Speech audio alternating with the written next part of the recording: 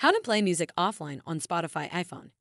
The first step is to open either the App Store or Play Store depending on the device you are using because this tutorial is the same for both Android and iOS users. After that, search for Spotify. Check if the app needs to be updated and update it.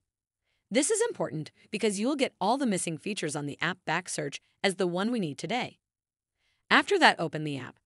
We are now on the homepage of the Spotify app. Next, tap on the search button here. This will take you to the Spotify search page as you can see. After that, tap on the search bar here and type the name of the song you are looking for. A list related to your search appears. Next, tap on the three dots beside the name of the song here. A section with options comes up as you can see. From those options, tap on this one named Add to Playlist. After that, you will have to add the song to a playlist. I will create a new one by tapping on here, New Playlist. Give the playlist a name and tap on Create to create it. Next, I am going to add more songs to the playlist as you can see. I am doing this for demonstrational purposes. Okay, I am done adding the songs. After that, come back to the homepage of the app.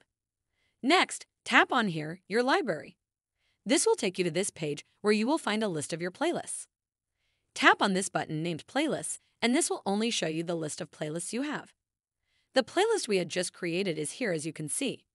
After that, tap on it. The songs we added are here. We can only listen to these songs online. So, to listen to them offline, do this. Tap on this download icon here, and all the songs will be downloaded and saved, which means you can listen to them anytime without the need for an internet connection.